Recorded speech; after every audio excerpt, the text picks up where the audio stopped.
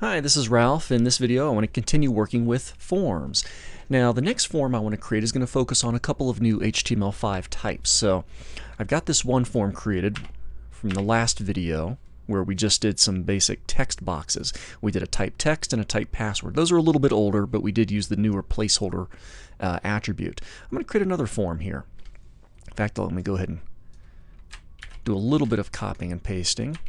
Okay, so form, method, post, action, pound sign. Now this one's, the, uh, these particular form elements are going to be uh, self-validating form elements. Okay, let me go do my closing form tag. And within this form, I'm going to have a field set.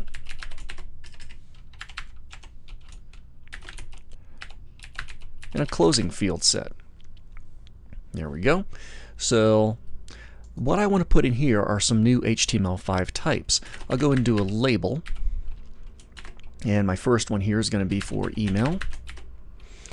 Then I'll do an input, type equals email. I'm also going to use the, uh, the attribute required.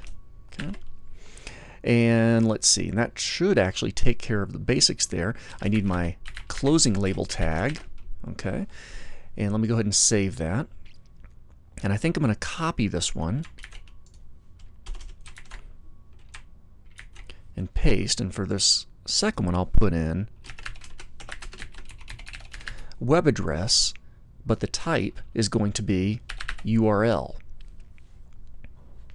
So now I've got these two new elements here. These two, well, they're inputs, but there's new types. Type equals email and type equals URL. So let me go ahead and save this. I'm going to jump over to Opera, which is the browser I'm using here, and they look just like typical text boxes. Now, since I use those label attributes, or label tags, I can click on the label email to activate the text box. I can click on web address, activate the text box. And they look very, very normal. And in most browsers right now, they are going to appear just like regular text boxes. In fact, a lot of web developers are probably still going to create email boxes and URL boxes using type equals text. But I do want to show you something a little bit new here. Um, I'm going to create another field. I'm going to do an input type submit. Every form will have a submit button. Okay, so let me go ahead and create uh, input type equals submit value equals send data. Okay, the value attribute for a type submit button, this is going to be the text that displays actually on the button. Let me go ahead and save that. We'll jump back over to Opera refresh. So now we have a more complete form. It asks for email, it asks for a web address, and then I can submit. Okay. Where is it submitting to? It's submitting to wherever the action of the form is. In this case, it's just a little dummy action. So this is the email and URL, but let me show this to you in Chrome. Let me uh, start up my Chrome browser for a moment. Here we go. So this is uh, Google Chrome's browser, and I've got these form elements for email, and I can type in something in email, go to web address, type in something in here, and when I try to submit the form, these are going to be checked, and it's actually going to start to validate the data inside of these text boxes to see, is that a typical email address? So let me do user at domain.com, so now it's a normal looking email address. And now I wait, I got to please enter a proper URL. Let's see if we can just school's website, send data. Oh, still wants the full HTTP colon slash slash. There we go. Now it's a little bit more legitimate. So there's some self-validating features here. Um, yeah, so that's kind of nice, but as we can see, it works in Chrome. It doesn't work in Firefox, doesn't work in Opera. Um, but this is, you know, it's going to get more improved. A web developer is still probably going to use JavaScript for this kind of stuff though, so no need to get overly excited, but it is a pretty cool little feature here. So that's that shows up in our Opera browser. So those are some self-validating form elements. Let's check out a, a couple of other new HTML5 form elements. So I'm going to create another form here. And let me just go ahead and uh, I'm going to just copy the top part of my previous form. Okay, and these are going to be, I'll do form elements for numbers, okay? And I'm going to have a couple of form elements here. So I'm going to have a, uh, oh, let me go ahead and get my closing form tag so I don't forget about it.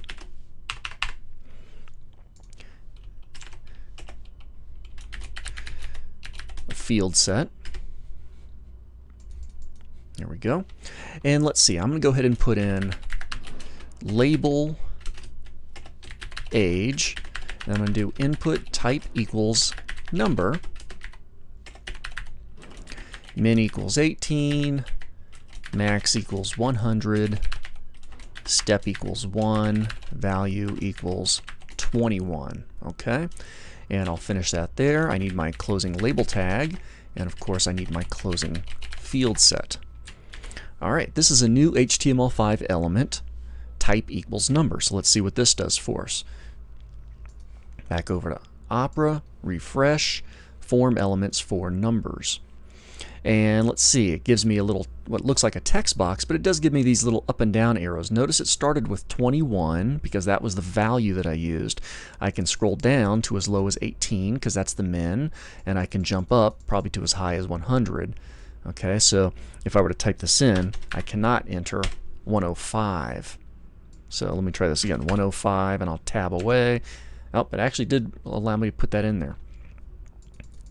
But if I scroll, it won't go past 100. Okay, so that's that's pretty slick. Let's look at another one here. By the way, so we got the type equals number, min is 18, max is 100, step 100, value 21.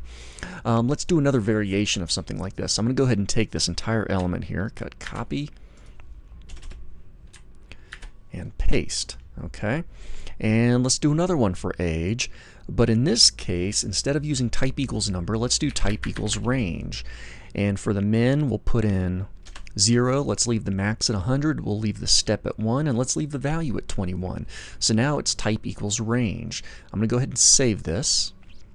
Jump back over to Opera. Refresh. And now we get this really slick little slide rule here. So that's pretty cool. So you get this little slider. And this, by the way, this works in Opera. It also works in Chrome. It doesn't work in Firefox, but who knows. Um, I see that Firefox 5 beta is out now, and I haven't tested that yet. So now we get this cool little slider. Now the slider is pretty useless unless you also do a little bit of JavaScript to display the result. So let me just go ahead and slap a little bit of that in here. Um, right after this label, I'm just going to go ahead and create a little script. There we go. And uh, let's see, I'm going to create a function called uh, show value. And I'm going to pass an argument called new value. And let's see, within this, we'll uh, just document uh, get element by ID. And I need to actually put an ID. I don't have an ID in there, so I'll have to put one in. So I'll put in age slider dot inner HTML equals new value. Okay. So, in fact, let me go ahead and change this out. I'll I'll put in uh,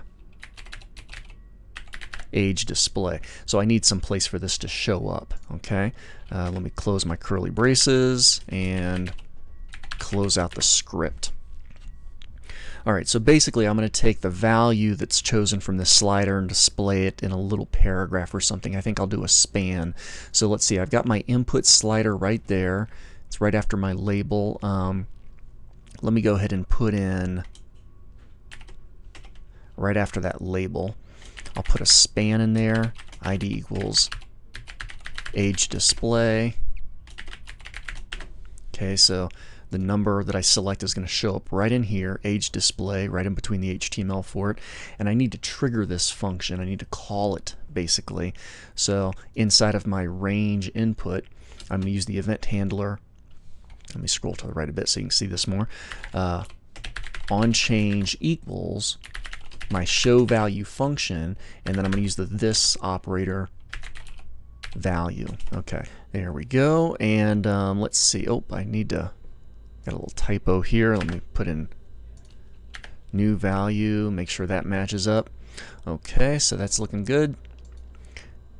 So basically, I'm going to take the value of this object, which is my slider, and I'm going to display that in the inner HTML of the element with ID equals age display, and I've got a span up here with age display.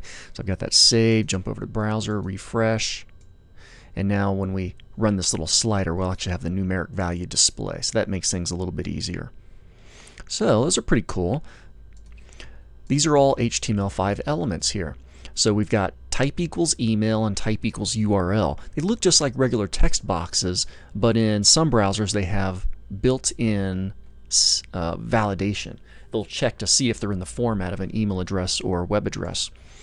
And then we have type equals number, which looks like a text box but gives you a little up and down scroll so you can scroll through numbers. And you also have type equals range, which gives you a horizontal slider so you can select values in that way. Pretty slick.